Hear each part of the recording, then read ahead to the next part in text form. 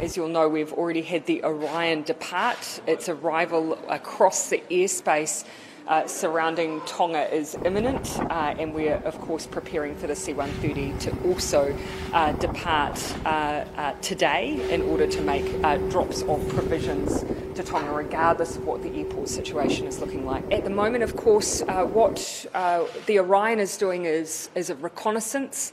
Uh, it is, as are the Australians, uh, looking to undertake an assessment uh, from the air uh, of the outer islands in particular, uh, and then, of course, provide that information uh, to the people of Tonga and Tongan authorities. for the C130, we're, of course, undertaking planning to enable drops to be undertaken regardless of the status of the airport.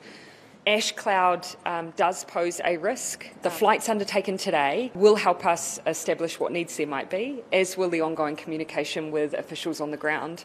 At the same time, though, we know water is an immediate need. The Hercules will be able to, we hope, take off today in order to meet that need much more quickly than our Navy vessels will be able to reach the island.